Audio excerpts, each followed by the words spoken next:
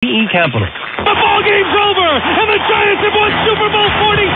Your flagship station for the Super Bowl champion New York Giants, along with Boomer and Carton mornings from 6 to 10, Benigno and Roberts middays from 10 to 1, and Mike Francesa afternoons from 1 to 6.30. It's The Fan, Sports Radio 66, WFAN, WFAN HD, and WXRK HD3, New